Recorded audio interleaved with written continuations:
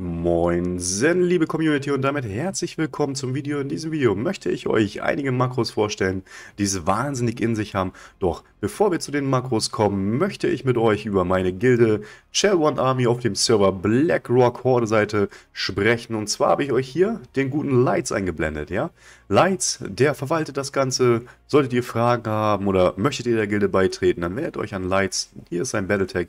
Würde mich auf jeden Fall wahnsinnig freuen. Wir möchten eine sehr, sehr große Gilde werden, wo wirklich jeder seinesgleichen findet. Ob wir nun letztendlich zusammen raiden, Mythic Plus laufen, PvP, jeder soll seinesgleichen finden und mich würde es wahnsinnig freuen, wenn auch du beitrittst. Ja? Vielen, vielen lieben Dank. Lasst uns weitermachen und lasst uns auch direkt reinstarten in die Makros. Los geht's!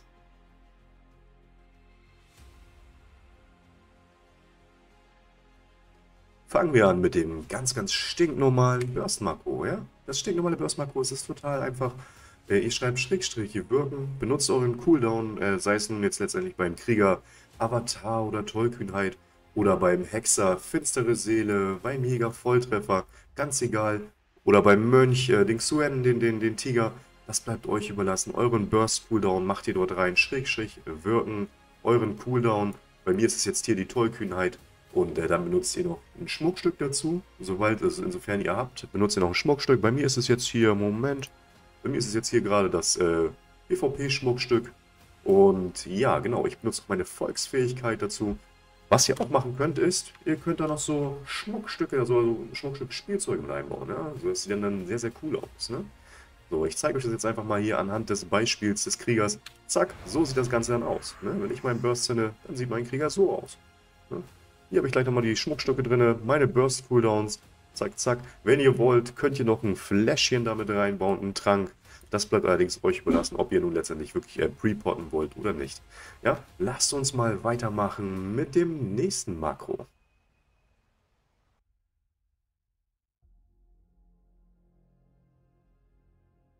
Weiter geht's mit dem Add-Cursor-Makro. Das Add-Cursor-Makro ist wirklich wahnsinnig hilfreich, Ganz egal auf welcher Klasse. Ob ihr jetzt nun letztendlich Ele-Schamane spielt, Todesritter oder ich, ich zeige euch das jetzt hier anhand des Jägers. Ja, das könnt ihr selbst als Krieger mit dem heldenschmaften Sprung kombinieren. Genau. So, passt auf. Und zwar Hashtag Showtooltip Leuchtfeuer zum Beispiel. Ne? Wirken Add Cursor Leuchtfeuer. Ja? Das heißt, ich ziehe jetzt mal das Leuchtfeuer hier ganz normal in die Leiste. Ihr habt beim ganz, ganz normalen Cast hier vorne die grüne Fläche. Ja, und dann könntet ihr das so ablegen. Ja? Das sparen wir uns aber, indem wir einfach dieses Add-Cursor-Makro benutzen und dann wird das direkt beim Cursor hingelegt. Das heißt, ihr, ihr spart euch diesen, diesen äh, Bestätigungsklick und das ist halt nochmal ein bisschen Zeit. Und ich finde das halt vor allem sehr, sehr gut, auch hier für, für eine Teerfalle oder für eine Eisfalle. Zack, ab ist eine Eisfalle, ohne dass ich jetzt halt mit dem Cursor äh, bestätigen muss, ja. Und das sind Makros, die sind wirklich wahnsinnig stark. Und äh, dazu zeige ich euch nochmal den Mod, ja. Dafür wechsle ich mal eben auf meinem DK. Bis gleich.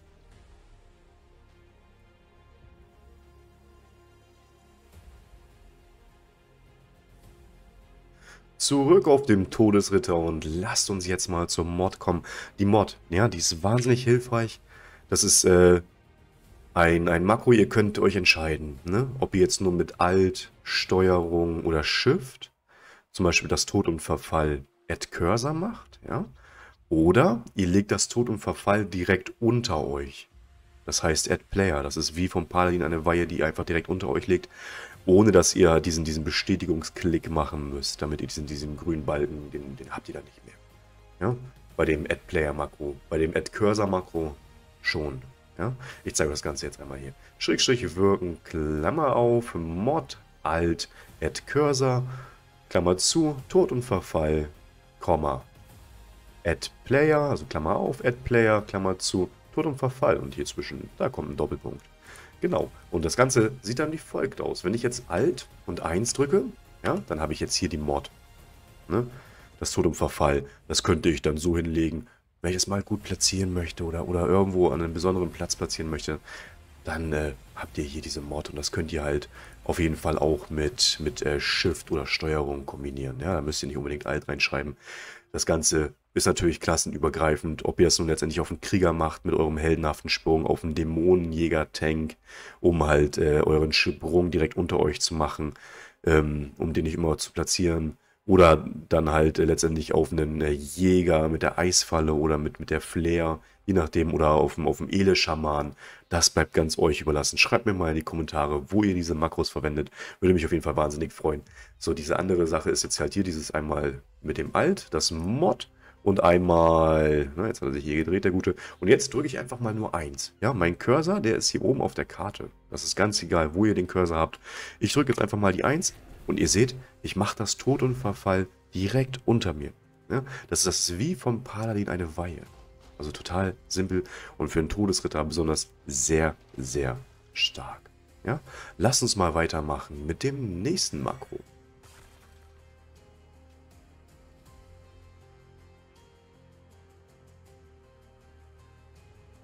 Weiter geht es mit dem Fokus-Makro. Ja, ich habe hier insgesamt zwei Makros, die ich euch zeigen möchte. Äh, zum, zum ersten einmal ein Mouse-Over-Makro, sodass ihr Ziele Mouse-Over in den Fokus nehmen könnt. Ja? Zur Verdeutlichung habe ich jetzt hier einmal einen Totenkopf drüber gemacht und hier ein X. Ne? Genau, ich zeige euch das Ganze jetzt einmal. Ich lösche jetzt hier mal meinen Fokus und äh, ich nehme jetzt meinen Cursor, gehe jetzt mal hier Mouse-Over über das X und drücke mal jetzt, bei mir ist es die Taste 4, das Makro, Taste 4 und habe jetzt X im Fokus. Ich könnte jetzt auch hier ne, den Boss in den Fokus nehmen oder Totenkopf. Das äh, bleibt ganz letztlich euch überlassen. Und genau, lasst uns mal schauen, wie das Makro aussieht. Das Makro sieht nämlich so wie folgt aus. Wie gesagt, alle Makros, die fehlt in der Videobeschreibung, die könnt ihr einfach kopieren. Ja? So, das Makro wäre ein Schrägstrich Fokus, Klammer auf, add mouse over, Komma exist, Klammer zu, Klammer auf, Klammer zu. Ja, könnt ihr einfach aus der Videobeschreibung kopieren und finde ich unglaublich hilfreich. Sowohl im PvE als auch im PvP. In der Dungeon zum Beispiel könnt ihr dann einfach via 4 euer Fokus wechseln und sagen, hey komm, ich unterbreche dieses Ziel, du unterbrechst dieses Ziel.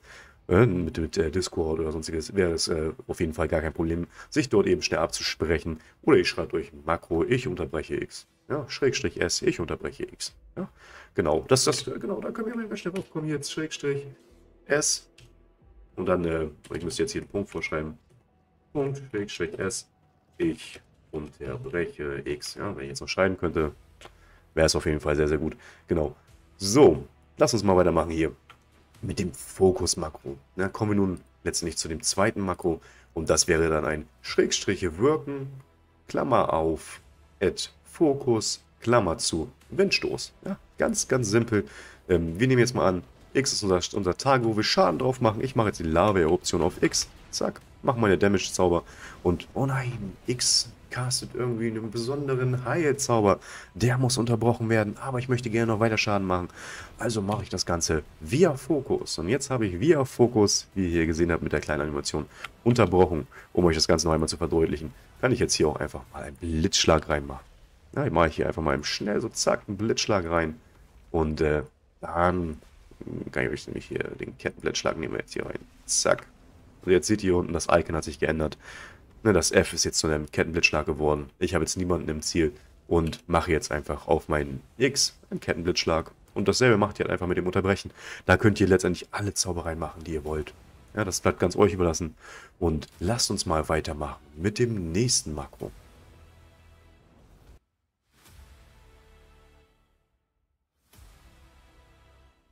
So, kommen wir nun mal zu einem ganz, ganz simplen Makro. Zu einem ganz, ganz simplen Makro, aber das ist äh, unglaublich nützlich. Ob ihr das nun jetzt letztendlich in der Dungeon benutzt, in Arena oder wo auch immer, das bleibt euch überlassen, ja. Und zwar den Befehl, den könnt ihr selber schreiben.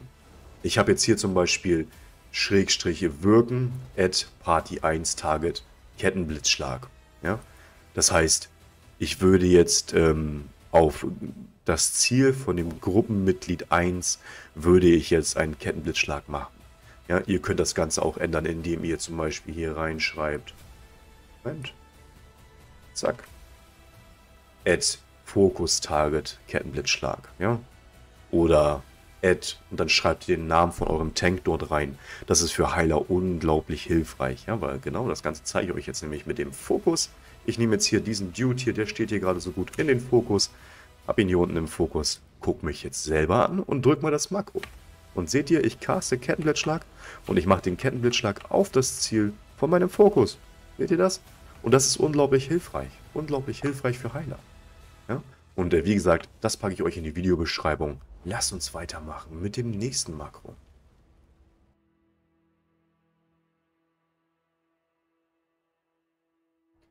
Okay, kommen wir nun zum nächsten Makro. Und das nächste Makro, das ist ein defensives Makro, ja? Ein defensives Makro und das könnt ihr euch für jede Klasse schreiben. Ich zeige euch das jetzt hier anhand des Kriegers und mit dem anspornenden Schrei, ja? Hier oben kommt euer defensiver Cooldown rein. Ne? Das könnt ihr mit ähm, Hashtag ShowTooltip euch nochmal anzeigen lassen. Ich mache es meistens nicht. Könnt ihr aber auch machen, das ist gar kein Problem. Könnt ihr auch mit allen Makros, äh, die ich da euch davor gezeigt habe, machen. Ja, dann kommt hier rein Schrägstrich, Wirken, anspornender Schrei oder letztendlich euer defensiver Cooldown. Ob es nur vom Paladin ja, die Bubble ist oder was auch immer. Das, das bleibt ganz euch überlassen. Ähm, oder irgendein anderer defensiver Cooldown, der den Schaden reduziert. Und dann macht ihr Schrägstrich wirken, euren defensiven Cooldown, Schrägstrich benutzen, Gesundheitsstein, Schrägstrich benutzen, wenn ihr habt, noch einen Trinket. Hier bei mir auf dem Krieger ist es dann jetzt mein defensives Trinket, was ich gegen eine Doppel-DD-Kombo benutze. Im, PV, äh, Im PvE würde das hier keinen Einsatz finden. Da äh, swap ich dann auf mein, auf mein Tempo-Schmuckstück. Ne? Aber das könnt ihr hier so mit einbauen. Und dann benutzt ihr alle Cooldowns gleichzeitig und äh, mit einem anspornenden Schrei ist das Ganze natürlich sehr, sehr nützlich in Kombination mit dem Gesundheitsstein. Ja?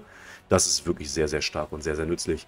Ich habe hier unten noch eine kleine Abklingzeit und dann zeige ich euch das Ganze. Ich habe auch gar keinen Gesundheitsstein dabei, aber das ist egal.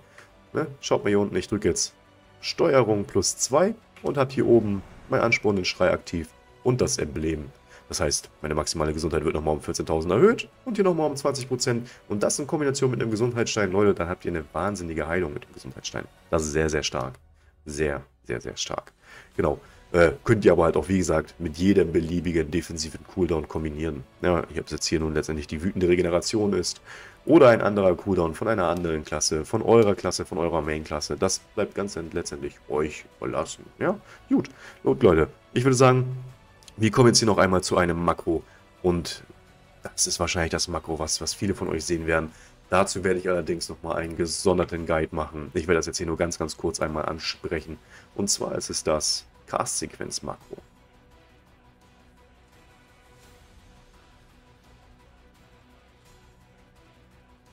Okay, kommen wir nun zum Cast-Sequenz-Makro, ja.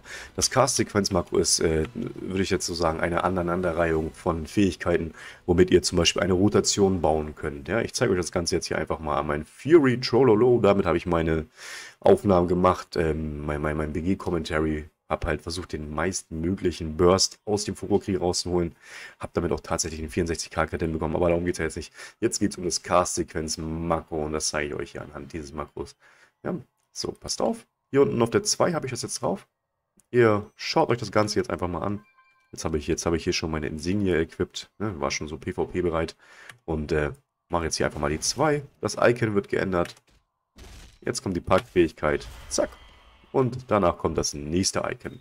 In jedem meiner Klassenguides werde ich euch äh, zu der Klasse so ein Makro schreiben, dass ihr halt einen wahnsinnigen Burst äh, ja, hinbekommt. Oder halt letztendlich eine Endlosrotation. Ja, das äh, werden wir mal sehen, wie das bei manchen Klappen, Klassen klappt, es einfach besser. Bei manchen ist es halt einfach unglaublich schwierig, so ein, so ein Endlos-Makro zu schreiben. Allerdings werde ich euch auf jeden Fall für jede Klasse mindestens ein Makro schreiben. Ja, und ähm, zu den Cast-Sequenz-Makro, da werde ich nochmal ein gesondertes Video zu machen, denn ähm, um das Ganze zu erklären, das, das, das, bedarf doch noch ein wenig Zeit und ich denke mal, ein separates Video für das Cast-Sequenz-Makro wäre die beste Lösung. Ich bedanke mich auf jeden Fall wahnsinnig bei euch. Lasst mir ein Abo und ein Like da, wenn euch das Video gefallen hat. Meine rechte Hand, Ivo, ja, die freut sich äh, über die, die freut sich über Anfragen äh, bezüglich der Gilde. Tretet sehr, sehr gerne bei der Shell One Army auf BlackRock. Vielen, vielen lieben Dank. Bis dann. Ciao. Peace.